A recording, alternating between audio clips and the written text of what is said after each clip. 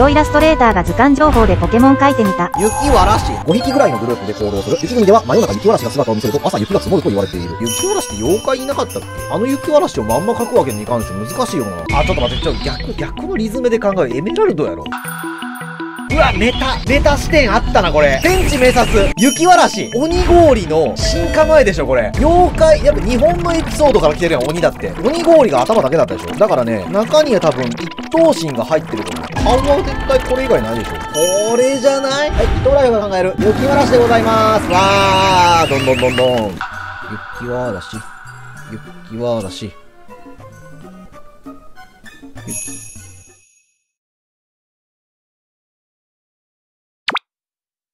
ゆ、ゆき、ゆ、ゆっくりしていってね。